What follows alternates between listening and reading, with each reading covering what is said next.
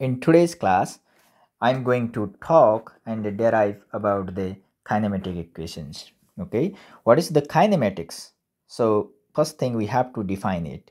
The kinematic is the branch of physics in which we talk about the motion, but we don't talk about the cause of the motion. Okay, we will discuss about cause of the motion in dynamics. So, first thing is kinematic equations okay? Remember uh, one thing before starting to derive equations uh, when deriving these equations we are considering that acceleration is constant okay? If acceleration is not constant we cannot apply these equations. So uh, for uh, non-constant acceleration motions we have to apply calculus okay? Integration will be there so starting from the first equation, we start from uh, the definition of acceleration. According to the definition of the acceleration, acceleration is denoted by A is equal to final velocity minus initial velocity that is change in velocity right? Divided by time. That is acceleration is uh, rate of change of velocity with respect to time okay? So a equal to b minus b naught t. If I simplify this equation, uh, I can write down 1 and do cross multiplication right here. It will become a multiplied with t, it will give you at. And if you multiply uh, b minus b naught with 1, you will get b minus b naught, right? Again, I can write down this term in left hand side and uh, this 80 on right hand so that I can rearrange like b equal to b naught plus at okay? This is the first equation first kinematic equation.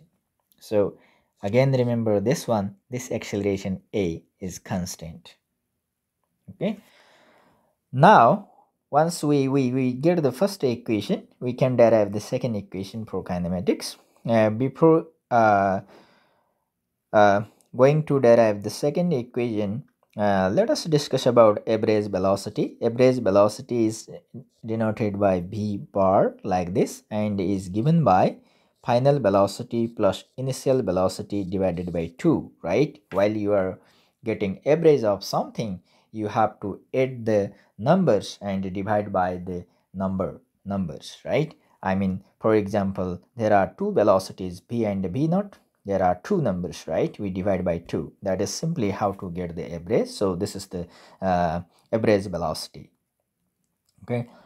Um, if x is the distance traveled i can write down uh, the relationship between x and average velocity. Like distance traveled will be equal to average velocity multiplied by time. That is time taken to to uh, uh, travel this much distance x right? If I insert value plug in the value of p naught from above equation to this equation then I will get x equal to v plus v naught divided by 2 multiplied by t right? This is the one equation. So this is equation 1 this is equation second. This is one of the equation of kinematic equation okay uh, look at here. To get another equation we have to use this equation which is equation 1 and this equation. If you insert value of p from this equation equation 1 to equation 2 just replace this b by b minus at right? Look at here how we will get it. Let me erase all these things. And uh, this one also. Okay let me insert this value value of p value of p from this equation to this equation okay? So x equal to uh, b naught plus 80 plus b naught whole divided by 2 into t okay? Now let's see how what we will get just simplifying this equation you you, you can add add b naught and b naught to get uh, 2 b naught right plus 80 divided by 2 is there and multiplied by t.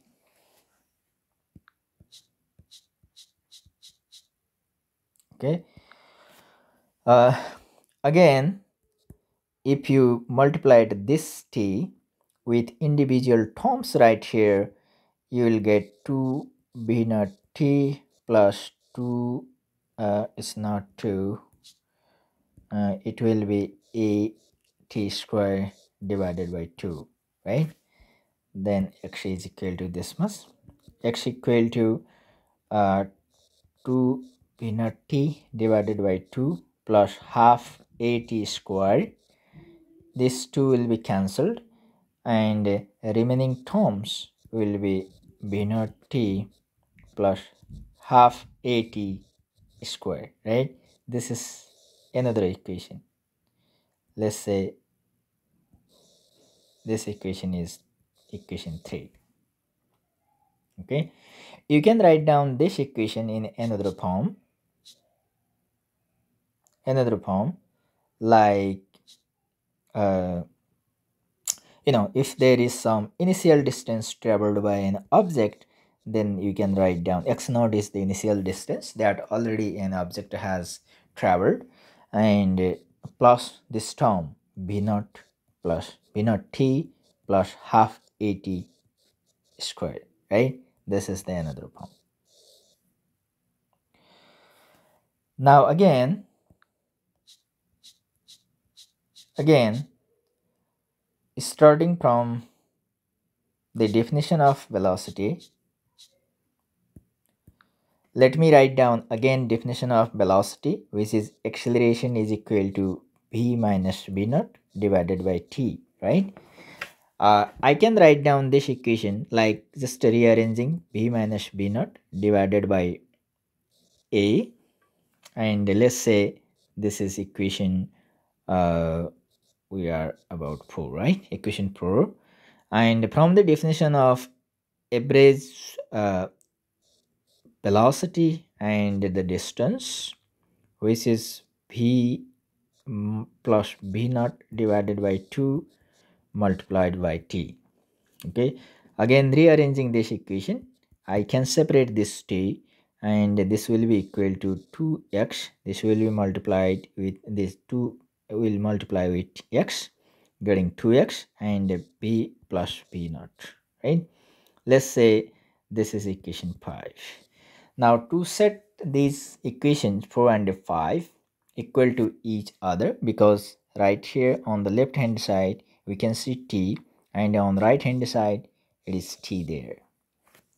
Okay so i can write down something like um, b minus b naught uh, divided by a equal to 2x divided by b plus b naught. Okay? Cross multiplication gives you b minus b naught multiplied by b plus b naught is equal to 2ax right?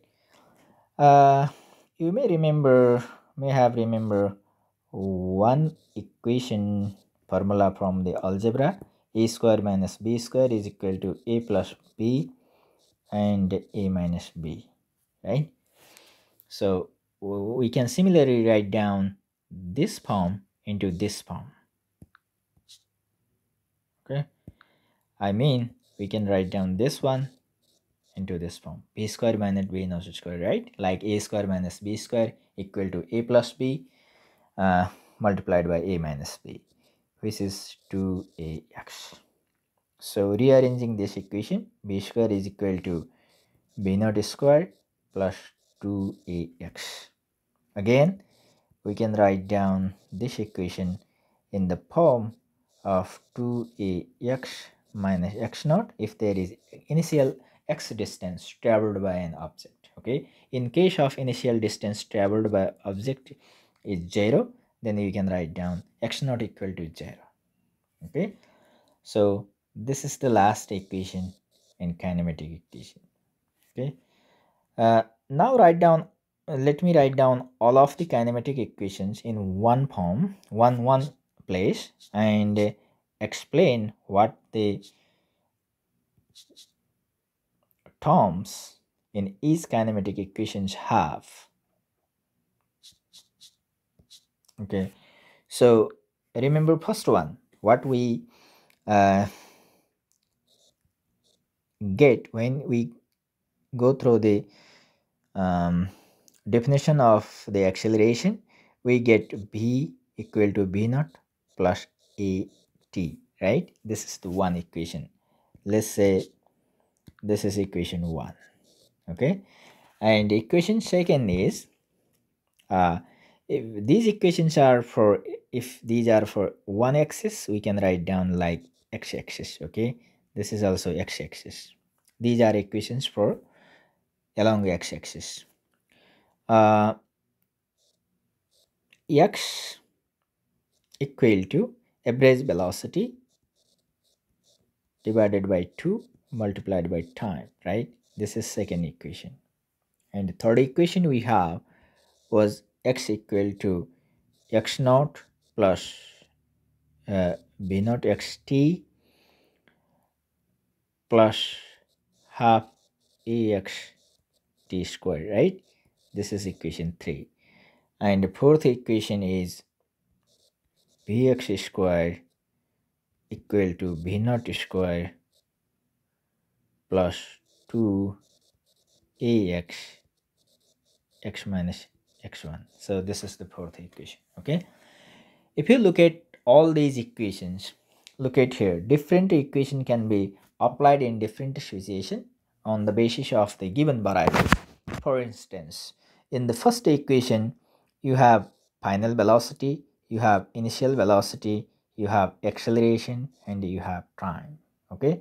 So if some of these variables are given and some are absent then you can use this one to calculate the target variable that you have to ask.